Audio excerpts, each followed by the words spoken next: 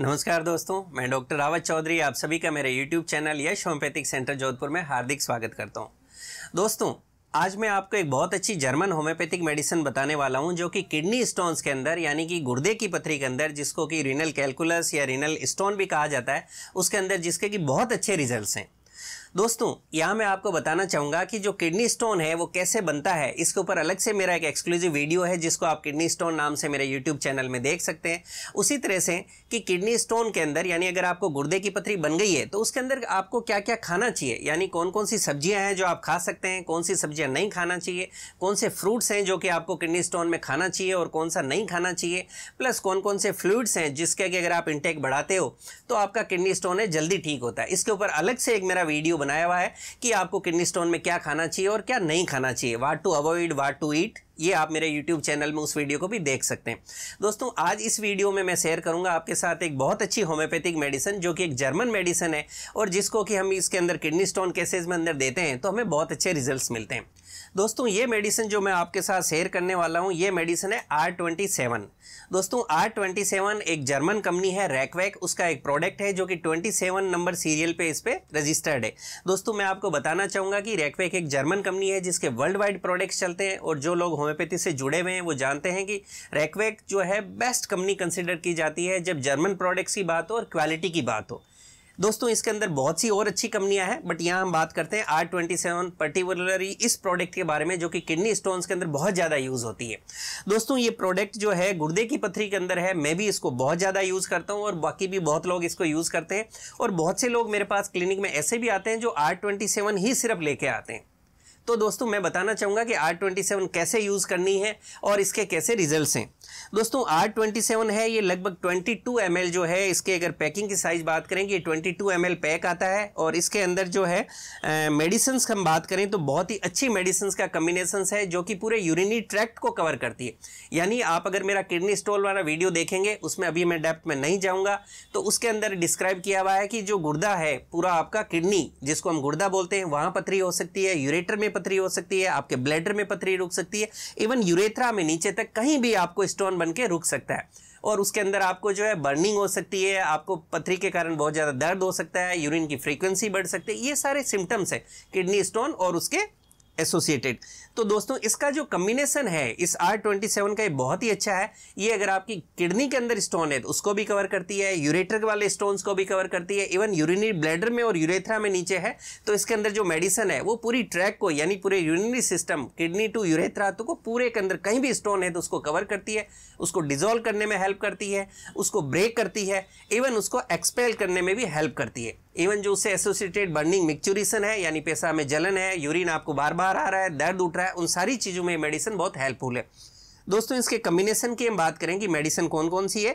इसके अंदर है एसिडम नाइट्रिकम ये एक बहुत अच्छी मेडिसिन है। देन बर्बेरिस वलगेरिस दोस्तों, जब बर्बेरिस वलगेरिस की बात आती है या होम्योपैथी में किडनी स्टोन्स की बात आती है तो सबसे पहली मेडिसिन जो किसी भी डॉक्टर के दिमाग में आती है या जो लोग होम्योपैथी से जुड़े हुए हैं, उनके आती है, वो है बर्बेरिस वलगेरिस वो भी इसके अंदर डली हुई है। इवन मैं बर्बेरिस वलगेरिस के ऊपर एक अलग से वीडियो छोटा सा बनाऊँगा, जिसके अंदर मैं वहाँ भी आपको कोशिश करूँगा कि उससे रिलेटेड कुछ आपको जानकारी दे सकूँ। दोस्तों नेक्स्ट इसके अंदर मेडिसिन है लेपिस रेनेलिस जो बहुत अच्छी मेडिसिन है और बहुत रेयर यूज़ मेडिसिन है, जो कि रूटीन में बहुत कम लोग यूज़ करते हैं बट इसमें डली हुई है। देन लाइकोपोडियम ये बहुत अच्छी मेडिसिन है। रूबिया टिंगटोरम देन सारसा पीला दोस्तों, ये सारी मेडिसिन पूरी यूरिनरी सिस्टम को कवर करती है और आपकी पूरी ट्रैक के अंदर कहीं भी अगर स्टोन है तो उसको डिजोल्व करने में आपकी हेल्प करेगी। दोस्तों, ये कॉस्ट इफ़ेक्टिव भी है और थोड़ा सा जर्मन ब्रांड है बट फिर भी मैं बोलूँगा कि कॉस्ट बहुत ज़्यादा नहीं है। अगर होम्योपैथिक पॉइंट ऑफ़ व्यू से देखें तो इसकी कॉस्ट अभी जो मेरे पास पैक है, ये ट्वेंटी टू का टू हंड्रेड ट्वेंटी रुपीज़ है। दोस्तों, अब हम बात करते हैं कि इसको लेना कैसा चाहिए। दोस्तों, इसको लेने का तरीका है कि इसको जब आप ओपन करते हो तो इसके अंदर आप जो है, आपकी मेडिसिन निकल जाएगी और जस्ट मैं आपको छोटा सा एग्ज़ाम्पल के साथ बताता हूँ। सपोज़ ये आपकी मेडिसिन आ गई है, फिर एक कप लेंगे आप, जो चाय पीने वाला कप होता है, उसको बिल्कुल क्लीन रखेंगे। उसके अंदर जब आप बोतल को इसको खोल लेंगे पैक को, उसके अंदर दोस्तों आपको इसकी 15 ड्रॉप्स एट ए टाइम डालनी है। यानी कप के अंदर 15 ड्रॉप्स आप मेडिसिन लेंगे, बाकी उसके अंदर लगभग आधा कप आप गुनगुना पानी मिक्स कर लीजिए ल्यूकॉम वाटर जब ये पानी मिक्स हो गया, यहाँ मैं आपको बोलता हूँ कि मेडिसिन पहले डालिए, फिर आप पानी डालिए। इसका रीज़न क्या है दोस्तों कि अगर आप पहले मेडिसिन डालते हैं और फिर आप पानी डालते हो हो तो वो मेडिसिन जो है प्रॉपरली पूरे पानी में मिक्सअप हो जाती है। प्रॉपरली एकदम इवनली वो मिक्स हो गई। इसी का अगर आप अपोजिट करते हो कि आपने कप में पहले पानी लिया और फिर आप मेडिसिन डालते हो तो मेडिसिन प्रॉपरली मिक्स नहीं होती। मेडिसिन आप ऐसे कह सकते हैं बहुत ही रूटीन में मेडिसिन ऊपर तैरेगी। आपको शुरू में मेडिसिन ज़्यादा मिलेगी लास्ट की जब आप सिप लेंगे तो उसमें आपको पानी ज़्यादा मिलेगा। तो इसलिए बेटर हमेशा रहता है कि जब भी आप कोई मदर टिंचर ले रहे हो कभी आप इस तरह की पैटर्न कोई मेडिसिन ले रहे हैं तो पहले आप मेडिसिन डालिए, उसके बाद पानी डालिए, जिससे प्रॉपरली मिक्सअप हो जाती। है दोस्तों, ये आपकी मेडिसिन तैयार होगी 15 ड्रॉप्स प्लस गुनगुना पानी। फिर उसको आपको छोटी छोटी सिप जैसे आप गर्म चाय पीते हैं या कॉफ़ी पीते हैं, बिल्कुल उसी तरह से, बिल्कुल छोटी छोटी घूंट आपको सिप बाय सिप इसको at least five to ten sips में धीरे धीरे पीना है। यहाँ मैं आपको और कहना चाहूँगा कि जब आप सिप लेते हैं तो उसको ऐसा नहीं कि आपने लिया और इमीडिएटली स्वेलो यानी निगल लिया, ये नहीं करना है।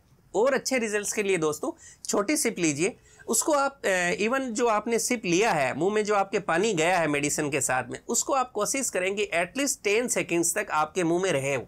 आप उसको मुँह में पानी को रोटेट भी कर सकते हो। सपोज़ सिप लिया, फिर आप ऐसे थोड़ा सा आप मुँह का अपना मूवमेंट्स बनाते हैं तो पानी आपके मुँह में सर्कुलेट होता है रोटेट होता है। इससे क्या होता है कि आपकी जो ओरल कैविटी है, आपके मुँह के अंदर से जो ब्लड वेसल्स और जो ब्लड की सप्लाई है होम्योपैथिक मेडिसिन हमेशा मुँह से एब्जॉर्ब होती है तो उतना ही अच्छा एब्जॉर्बन वहाँ से होगा। तो छोटी छोटी से उसको भी दस सेकेंड पानी को मुँह में घुमाइए और फिर धीरे धीरे इसको लेते जाइए। दोस्तों, इस मेडिसिन को रूटीन के अंदर हम देते हैं और डिपेंड करता है कि किडनी स्टोन की क्या साइज़ है। आ, मतलब अगर दो एम एम तीन एम एम की पथरी है तो हो सकता है आपकी सप्ते दस दिन में निकल जाए। और डिपेंड भी करता है कि वो यूरेटर पे है ब्लैडर में है यूरेथ्रा में है उस पर भी डिपेंड करता है कि पथरी कितने दिन में निकलेगी। किडनी में है तो किडनी में कहाँ पर लोकेटेड है? अगर डेप्थ में लोकेटेड है तो हो सकता है आपकी पथरी कई बार निकलने में लंबा टाइम भी ले लेती है। जैसे मैं आपके साथ एक एग्ज़ाम्पल शेयर करूँ मेरा पर्सनल क्लिनिक का।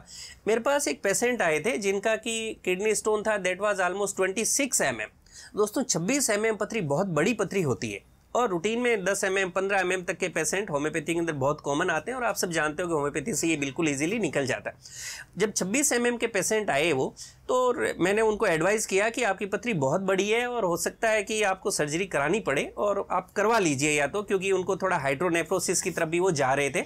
बहुत ज़्यादा नहीं था, हमने उनके किडनी टेस्ट करवाए, जो रीनल फ़ंक्शन टेस्ट है ब्लड यूरिया सीरम क्रिएटिन वगैरह सब नॉर्मल थे।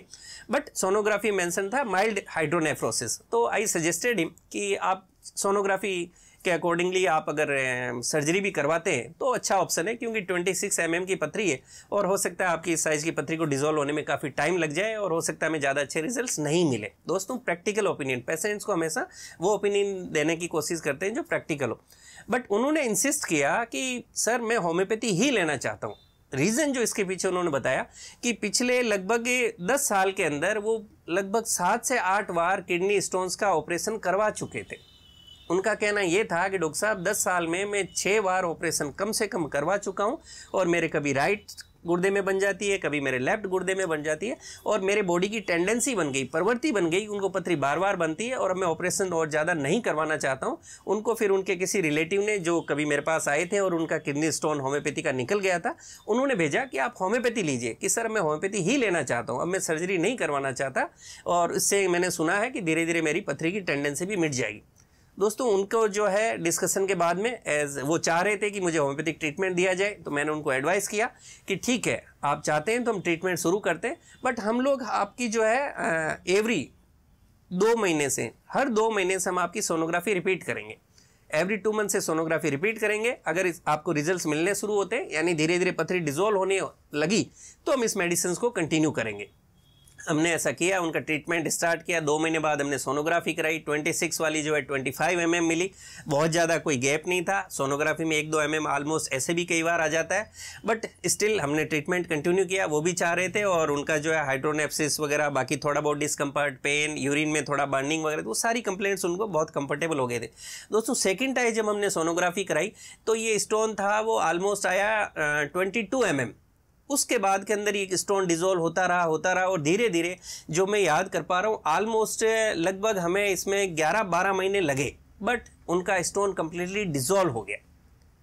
तो दोस्तों, जो मैं आपके साथ शेयर करना चाह रहा हूँ कि homoeopathy is very good in kidney stones है कि नहीं वो रूटीन में 10-15 एम के लिए बहुत अच्छा होता है। अब हमने उन, जो उनको मेडिसिन दी, मैं आपको बताता हूँ कि आर ट्वेंटी सेवन दी हमने उसको। लेकिन यहाँ मैं आपको जो मैसेज देना चाह रहा हूँ कि जो भी आपको कभी प्रॉब्लम होती है, उसके अंदर बेस्ट ट्रीटमेंट दोस्तों वो होता है जो आप चैम्बर में जाते हो, अपने डॉक्टर से डिस्कस करते हो और वो जो आपको मेडिसिन देते हैं। ऐसा नहीं है कि कहीं भी पथरी है तो सारी पथरियाँ आर ट्वेंटी सेवन से निकलेगी। नहीं बट आर ट्वेंटी सेवन जब होम्योपैथी की बात होती है तो it is one of the best medicine जो कि इसके अंदर रिज़ल्ट देती है। बहुत अच्छे रिज़ल्ट देती है ये मेडिसन बट साथ के अंदर उस पेशेंट की पर्टिकुलर नीड क्या है? कि आपको अगर किडनी स्टोन मान लीजिए कि यूरेटर में है तो आपके डॉक्टर कुछ और मेडिसिन ऐड करेंगे। आपको ब्लडर में है तो हो सकता है कुछ और दे।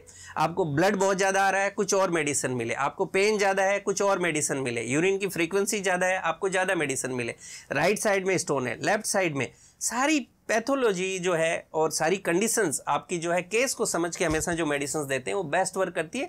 और साथ के अंदर आर ट्वेंटी सेवन एड करने से उसके रिज़ल्ट और भी अच्छे मिलते हैं। तो दोस्तों, जब भी प्रॉब्लम है, अगर किडनी स्टोन्स की आर ट्वेंटी सेवन के अंदर, उसके अंदर बहुत अच्छी मेडिसिन है, और साथ में मैं सजेस्ट करूँगा कि जो भी इंडिकेटेड मेडिसिन है, उसको साथ में ज़रूर यूज़ करें। अगर आप इनको प्रॉपरली यूज़ करते हैं तो आपको किडनी स्टोन के अंदर आर ट्वेंटी सेवन से बहुत ही अच्छे रिजल्ट्स मिलते हैं। साथ में मैं ये भी कहना चाहूँगा होम्योपैथी के अंदर सेल्फ मेडिकेशन नहीं करें। अब मेरे पास किडनी, यहाँ पे क्लिनिक में भी बहुत पेशेंट आते हैं जो सेल्फ मेडिकेशन करके आते हैं, या जो होम्योपैथिक डॉक्टर्स नहीं हैं, उनके द्वारा रिकमेंड की हुई काफ़ी मेडिसिन लेके आते हैं और कहते हैं, सर, ये मेडिसिन मैंने काफ़ी ली, मुझे इससे रिज़ल्ट नहीं मिला। या, मैंने होम्योपैथी ली, मुझे रिज़ल्ट नहीं मिला। या, मैंने बर्बेरिस वर्गेरिस ली, मेरा पथरी नहीं निकली। या, मैंने आर ट्वेंटी सेवन ली, मेरी पथरी नहीं निकली। रीज़न क्योंकि आप वो प्रॉपर डॉक्टर के गाइडेंस में नहीं ले रहे। आपके डॉक्टर साहब सिर्फ़ आर ट्वेंटी सेवन नहीं, उसके साथ आपको कुछ दूसरी मेडिसिन भी देंगे। तो दोस्तों, आपको अगर कभी भी किडनी स्टोन की प्रॉब्लम है तो उसके अंदर जो है होम्योपैथिक ट्रीटमेंट लीजिए, बहुत अच्छे रिजल्ट्स मिलेंगे। एंड आर ट्वेंटी सेवन को मैं बहुत स्ट्रांगली रिकमेंड करूँगा, बहुत अच्छी मेडिसिन है, लेकिन हमेशा डॉक्टर के गाइडेंस में लें। दोस्तों, उम्मीद करता हूँ कि मेरा ये जो वीडियो है, इसके अंदर जो मैंने आर ट्वेंटी सेवन पर जानकारी दी है और किडनी स्टोन पर जो हमने बात की है, आपको पसंद आएगी और आपके लिए लाभकारी साबित होगी। इसी तरह से मुझसे जुड़े रहने के लिए मेरे YouTube channel Yash homoeopathic centre Jodhpur को आप लाइक करें शेयर करें सब्सक्राइब करें और बेल आइकन ज़रूर दबाएँ, जिससे मैं जैसे कोई वीडियो डालूँ, आपको नोटिफिकेशन मिल सके। Thank you